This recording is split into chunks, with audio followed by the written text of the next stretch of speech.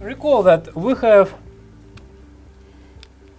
uh, we, we have mostly we have mostly the th uh, three or four types of drawbacks. So we have ma manufacturing, manufacture,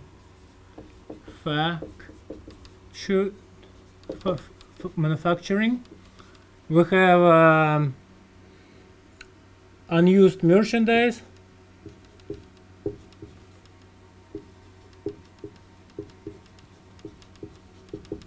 And we have rejected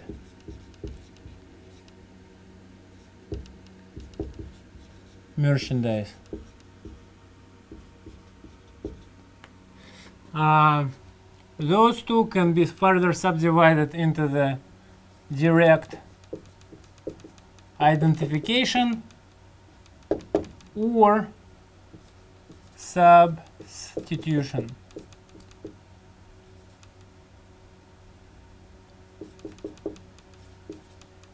Types. All right. So now let's talk a little bit more about manufacturing drawback, which is the direct identification type. All right. So so so the thing the thing about the direct identification drawback, it allows for 99% of refund of eligible duties, taxes, and fees, and uh, it applies only to those articles that were imported, so long as you meet the following criteria. All right, and those this is an important criteria because um, uh, some of it, some of this criteria is kind of like term of art, uh, but some of it, most of it is straightforward. So um, the United States, its article is not used in the the United States produced article is not used in the United States. So uh, let me let me have a word about what it, what it means to be used or not to be used. So uh, recall that we're talking about the manufacturing direct identification drawback. Manufacturing direct identification drawback is, all, is provided under the uh, 19 USC 19, uh, Title 19 United States Code 1313A which is right here. And uh, when we speak about use, uh, the uh, provided that those articles, here is the language, have not been used prior to such exportation or destruction.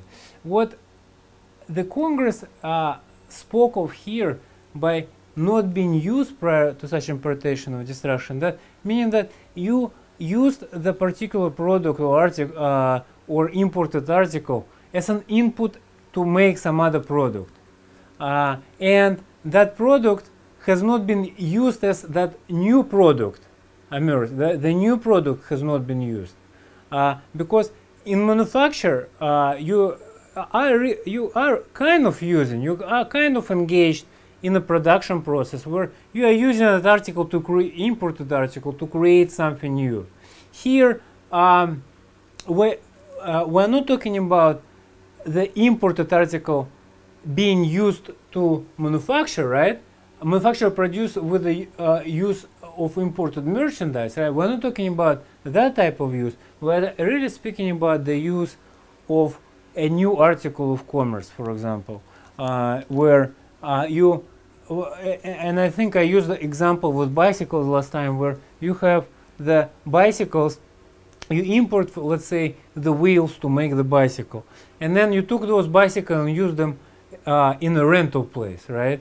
Uh, in the United States commerce.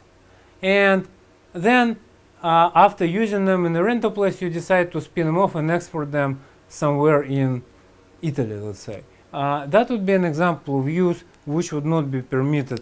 Uh, you could not use that in, in a, as, as, a, as a rental thing, uh, because that would be considered use not permitted under the 1313A. So that's for the direct manufacturing drawback uh, use provision.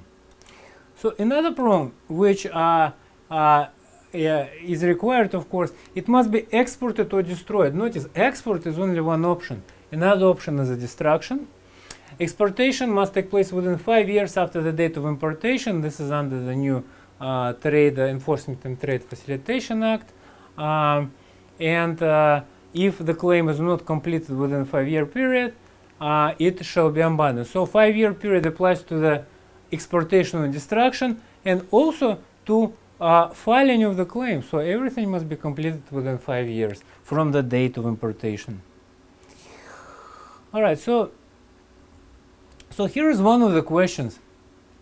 Um, for the purposes of filing a drawback under and here is the reason why I mentioned while it is helpful to recognize uh, the dates because here they really do not tell you what type of drawback it is, right?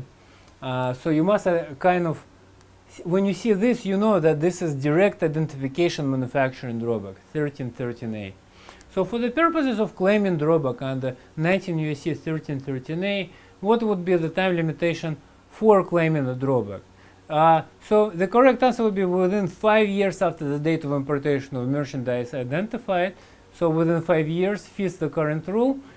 Interestingly though, interestingly, the particular question was asked way before the new rules to, uh, uh, uh were in effect. And um,